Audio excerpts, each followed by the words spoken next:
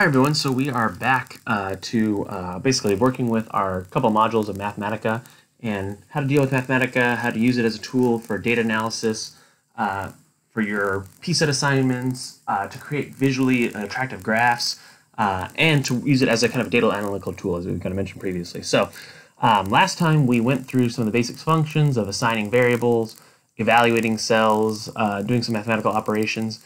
Now we're going to work with um, one of the most important things that we'll be dealing with Mathematica is essentially working with lists, tables, list manipulations, and basically writing kind of um, essentially for loops uh, in order to kind of analyze and do repetitive or um, to kind of to do repetitive analysis. So we're going to work with lists, create lists, extract data, and yeah, that's what we're going to be focused on here today. So let's start off by creating a, a list. So we could import lists. We're going to actually work with that a little bit later.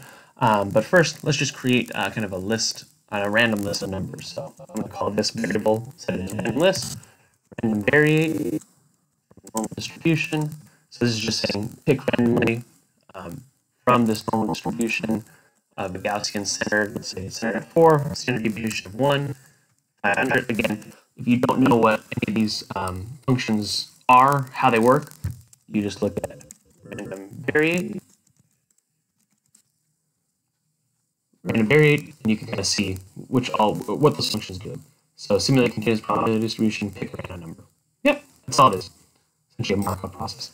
So I could create a list. I could do 100 list, 300 list, 1,000, 4. It's going to take my computer a little bit long, but you see where I'm going. So random list of 500. I press over again and again, you see different numbers. Yep. So that is my random list. Um, you can also create uh, basically a, a, table. So let's say I want to make a list. A table, just list of numbers from going from 1, from i goes from 1 to 10. So again, this is kind of, table is the equivalent, uh, if you've done math, like your for loops or repetitive operation. So from 1, iterate i from 1 to 10. You can also do this in intervals of 2, in intervals of 3, you can kind of change this value. So 3, you could do 0.3, and you can see, you can have fun with that operation. But we just want to do it from 1 to 10. So you could also make a list uh, from 1 to 10 there. You can also visualize your uh, list in some really interesting, cool ways. So you can look at it in table form, and you can look at this as a table. You don't want to do, um, actually an error. If I try to do list times 5, I'll get this. But if I do t-list, table form, and then if I do this is acceptable, but if I do this, I should an arrow pop up. So again, that table form is just for visualization purposes. So, and if I want to delete all my code, you just go here and click down right there. I could also create uh, a matrix. So let's look at matrix. I'm going to create a table. Actually, there's lots of ways to create a matrix. So you can kind of do this manually. One, two, five, two, four. Actually, let's do like 16, 27, 18, and minus 1, minus 10, minus 11. So we can look at that matrix. So matrix, actually, matrix form. So that's another way to kind of visualize uh, essentially this matrix. Um, and then now we can kind of start to pick out dimensions. So we've seen lists, we've seen uh, random number lists, and we've seen matrices now. One of the critical things that you might want to look at is looking at dimensions. So dimensions tells you if you're looking at a list, what are the dimensions of your list?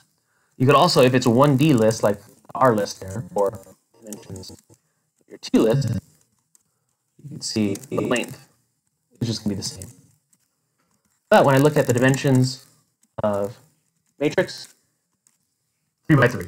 So again, that's a nice way to kind of see what kind of, what dimensions are you dealing with, and uh, then you can kind of work with uh, those matrices or lists or tensors or whatever you're dealing with.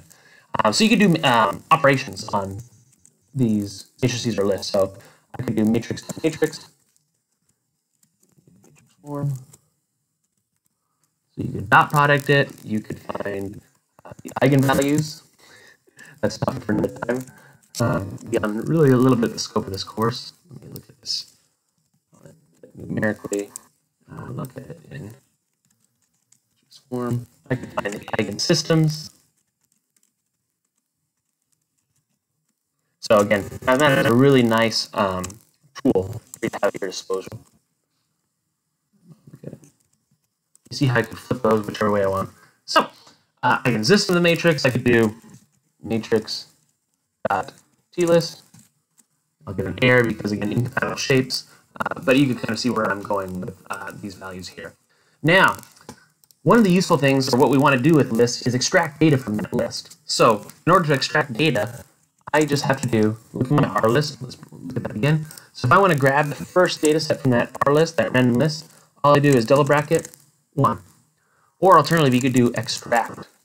So there's a function called extract, but it's not as, um, I, I really like this, uh, this double bracket system as well. So you could extract this, but again, you can see how laborious that code is compared to just that. So we could do the same thing. Extract list, R list, one. Do the same thing, but much, much quicker, right? We don't have to type out extract.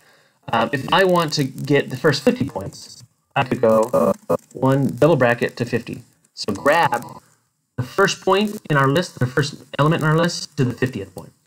If I want to extract um, uh, from point four, you know, 400 point on our list to the end. Minus one is the end of your list. I could extract that. I could also random choice, randomly choose from our list 10.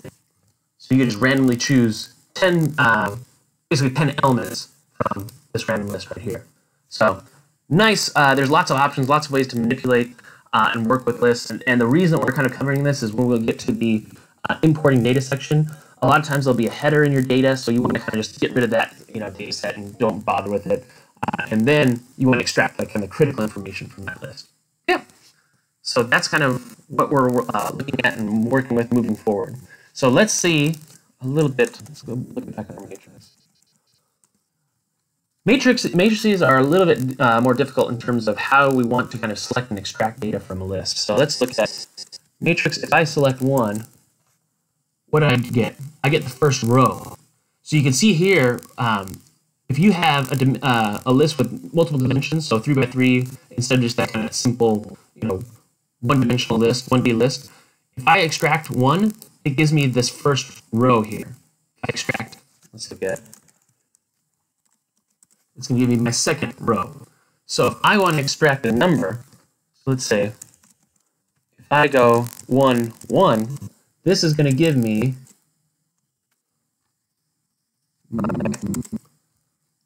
first row. So the first indice tells you the row, and the second gives you the column. So if I want to extract 2, 1, 2, that's going to give me 2. And 1, 3, you kind of be going out here. 5 sorry, myself. Three will give me five. If I want to do two, that should give me 18, and then et cetera, et cetera. You can also, all, and then three. So I could give me, just give me my, all the rows, you know, the, basically the rows, don't leave that um, untouched, and just give me the third column here. That's another way you can kind of extract data, uh, data set there. So nice way, we're going to get into it a lot uh, later on. So yeah, that's about it for manipulating lists. Obviously, there's a lot more that we'll deal with and cover, but all right, that's uh, all there is to that. So next time, we are going to work on plotting in Mathematica. So really important section, really fun section, and we'll get it into it next time. Thanks. Bye.